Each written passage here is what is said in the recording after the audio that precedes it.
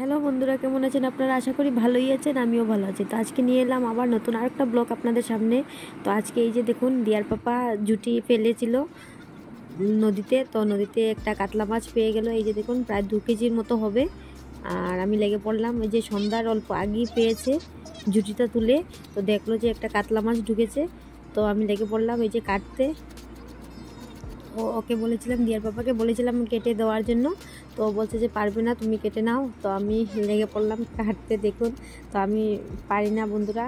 এই এত বড় মাছটা আমি কখনো কাটিনি, এত বড় মাছ, তো আমি কাটতে পারছিলাম না। এই যে দেখুন। তো জেনে টেনে বন্ধুরা, কাটার চেষ্টা করছি। আর এই যে দেখুন, তো আমার ঘরে আমার শাশুড়ি মাও বলছে, ও পারবে না।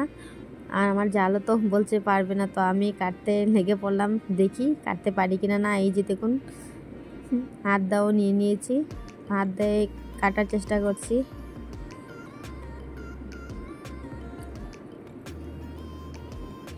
তো চলুন দেখুন, কাটতে পারি কিনা না। আর জ্যান্ত কাতলা মাছ তো, এই যে দেখুন, তাজা তাজা পুরো। আর কীভাবে রক্ত বেরোচ্ছে, পুরো তাজা তাজা মাছটা এই মাত্রই পেয়েছে। মানে সন্ধ্যার অল্প আগেই পেয়েছে।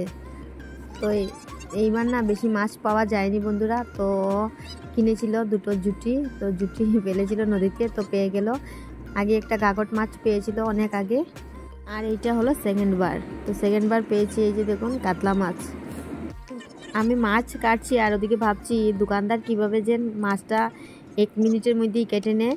তো আমি ওটার মতো চেষ্টা করছি, কাটতে পারি কিনা না দেখছি, কিন্তু দাটাও এত বেশি ধার না। তো কাটতে পারছিলাম না, তবুও আমি চেষ্টা করছি বন্ধুরা। তো জেনে তেনে করে কেটেই নিয়েছি আমি। এই যে।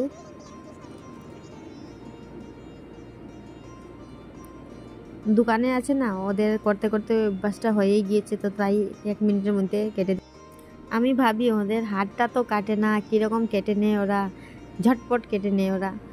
ভাবছি কীভাবে কাটে, ওই মাছটা কাটছি আর আমি কথাটা ভাবছি, দোকানদার কীভাবে কাটে? চলুন জেনে তেনে করে কেটেই নিয়েছি, এই যে দেখুন।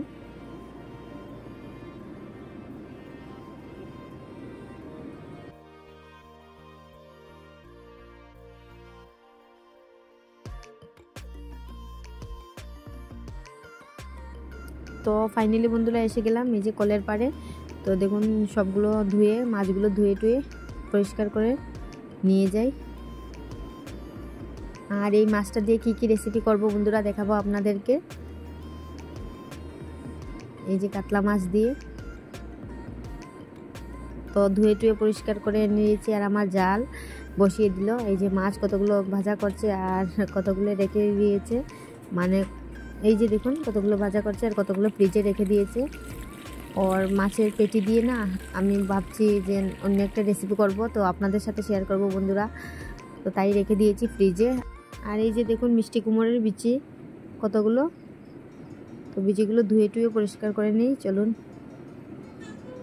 আর ইন্ডাকশনে বসিয়ে দিলাম, এই যে অল্প ফ্রাই করে নেব।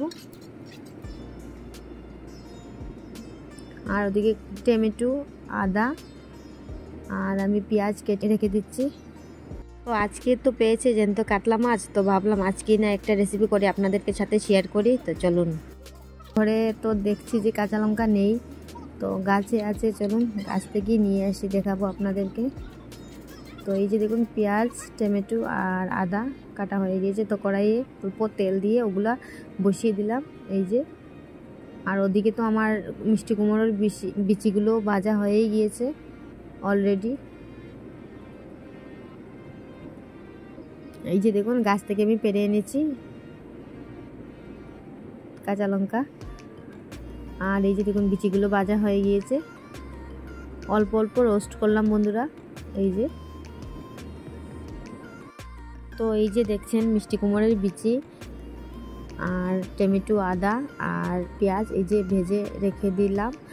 আর এই যে কাঁচা লঙ্কা পেরে নিয়েছি গাছ থেকে, তো ওগুলোও দিয়ে দিলাম অল্প ভাজা করে। তো ওগুলো সবগুলো আমি পেস্ট করে নেব।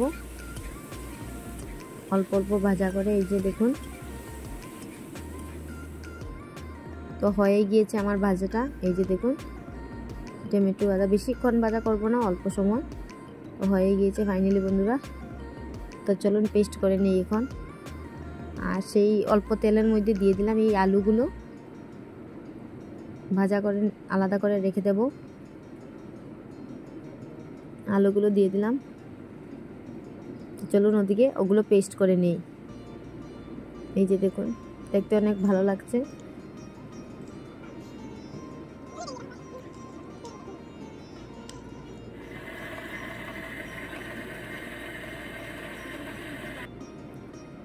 আর এটা থেকে না অনেক সুন্দর সেন্ট বের হচ্ছে কি বলব আপনাদেরকে?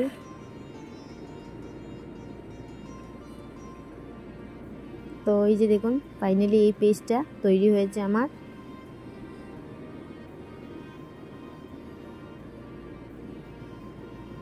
আর পেস্টের রংটা দেখুন, খুবই সুন্দর লাগছে। মশলা টশলা দেওয়া নেয় তবুও রংটা খুবই সুন্দর লাগছে। আর ওদিকে আমি ইন্ডাকশনে বন্ধুরা, এই যে গরম জল বসিয়ে দিলাম।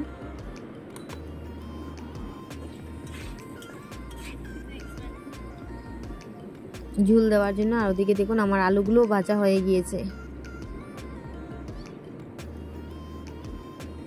তো তুলে নিলাম। আর ওদিকে আমি তেলের মধ্যে দিয়ে দিলাম শুকনো লঙ্কা। আর এই যে দেখুন মেথি, গোটা মেথি দিয়ে দিলাম। আর গোটা গরম মশলাও দিয়ে দিলাম, এই যে। দেখুন, গোটা গরম মশলা দিয়ে দিলাম অল্প। তো দেওয়ার পাপা বলছে যে তেজপাতা না দেওয়ার জন্য, তো তাই দিলাম না। আর এই যে দেখুন, আমি পেস্ট করে রেখেছিলাম যেগুলো, ওগুলো দিয়ে দিলাম। তো ভালো করে ভাজা করে নেব বন্ধুরা। আর এই যে দেখুন, এক এক করে সবগুলো আমি মশলাও দিয়ে দিলাম। হলুদের গুঁড়ো, জিরের গুঁড়ো, আর এই যে লঙ্কার গুঁড়ো। তো সবগুলো দিয়ে ভালো করে ভাজা করে নেব। এই যে দেখুন, তেল ছাড়া শুরু করে দিয়েছে অলরেডি আর স্বাদ মতো তো নুন দিয়ে দিলাম।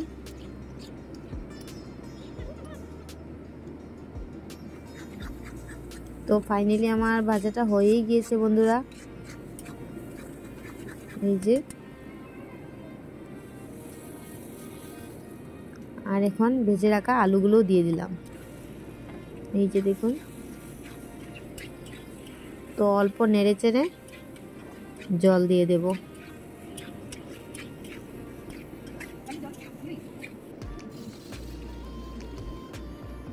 এই যে গরম বসিয়েছিলাম না জল, ওগুলো জল দিয়ে দিলাম।